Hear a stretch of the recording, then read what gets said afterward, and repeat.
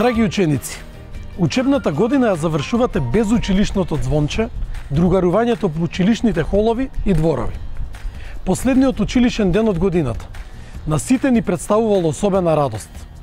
Тоа е моментот кога започнува летото, безгрижниот распуст, а другарувањето продолжува во маалата, на клупите и игралиштата. Сакам да ви честитам за фактот што сте генерација која за прв пат реализираше настава по електронски пат. Речи си цело второ полугодие. Учевте преку дигитални платформи и покажавте дека младите и во време на здравствена криза се носители на промените. Ученици и наставници, вие поставивте нов стандард во македонското образование. Ви благодарам за вложениот труд и напор, а на полуматурантите им посакувам успешен упис во средно училиште.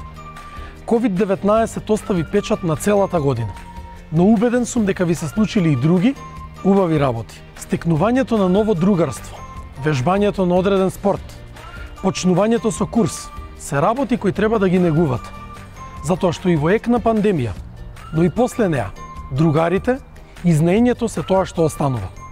Ви посакувам безгрижен распуст. Вие сте кул генерација која одржа лекција по храброст, елан за работа и промени.